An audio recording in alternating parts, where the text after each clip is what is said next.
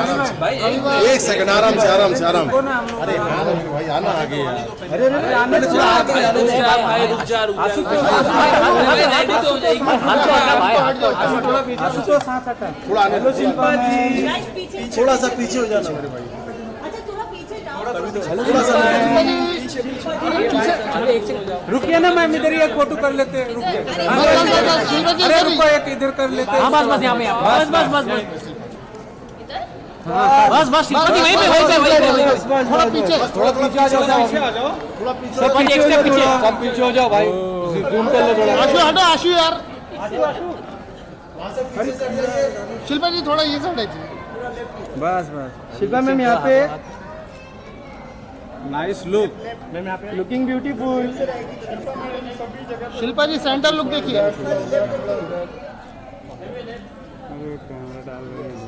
Shilpa ji centre Shilpa ji अभी यहाँ पे चलो आ जाओ उधर पोडियम पे चलो वहाँ बाइट्स कर लेते हैं पीछे लेना कैमरा पीछे थोड़ा जगह करना कैमरा पीछे सर कैमरा ना साइड में लेके आइए sir hello Shilpa ji centre. इधर से उधर आएँगी मैम टेंशन मत लो शिल्पा मैम यहाँ पे यहाँ पे।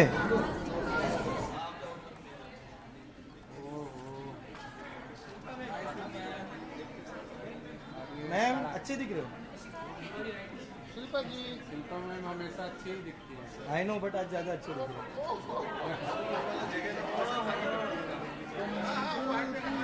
मैम, इस ladies want to- आ जाओ मैम आ जाओ। मैम अभी ये साइड ये देखिए अरे खड़ा स्लो मोशन अरे बाद में कर लेंगे भाई बोलने तो दो। पूछ श्रद्धा आप पूछो।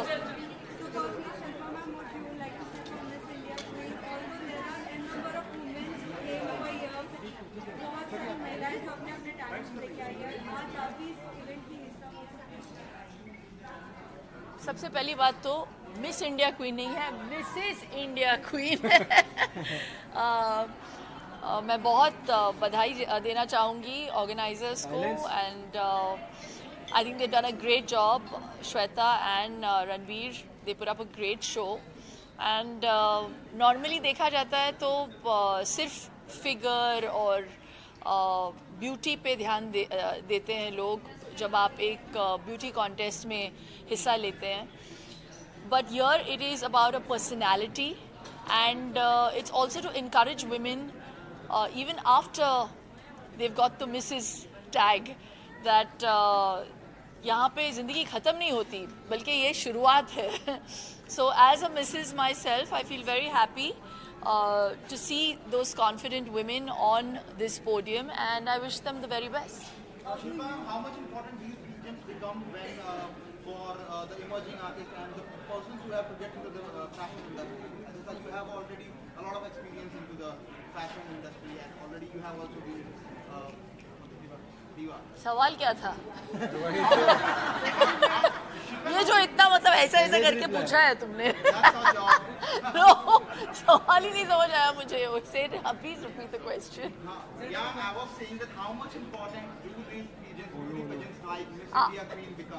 For an individual? I think for an individual, it's only encouraging. Who doesn't like to win? And it's very reassuring, especially after you're married. And it's it's also wonderful to see that their husbands are supportive of um, uh, you know their endeavor. And uh, the fact that they they've you know allowed them and they have actually become the you know the wind beneath their wings just goes to show that the man is also very confident. So it's really encouraging for the women for sure, and uh, it's a step, you know, it's a stepping so- uh, stone in whatever direction that they want to take. Ma'am, you about uh, your memory of your time when, it was your initial time into the industry and you were on the uh, ramp. How was your experience and if you can share something from that period? Well, let me tell you, I won nothing when I took part in those competitions back in the day, uh, even before I became an actor. So uh, every time I come to judge or, you know, uh, uh, crown these women. I that's that's exactly what I tell them. For all those people who didn't get the crown or don't get the crown, it's my way of kind of reassuring them that you know it's not the end of the road, and I'm standing there without any of those accolades, and uh, you know you just have to keep going at it, and uh, even after 30 years, I'm still standing here without those initial wins.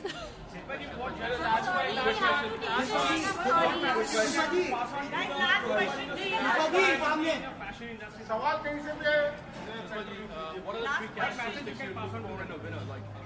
The three characteristics uh, would definitely be confidence, uh, an overall personality, and uh, I think how she conveys herself. That little bit of an X factor, an edge has to be there, Um and that's what makes you, you know, stand apart. Yeah. Thank you so much I have to sir event भी करना है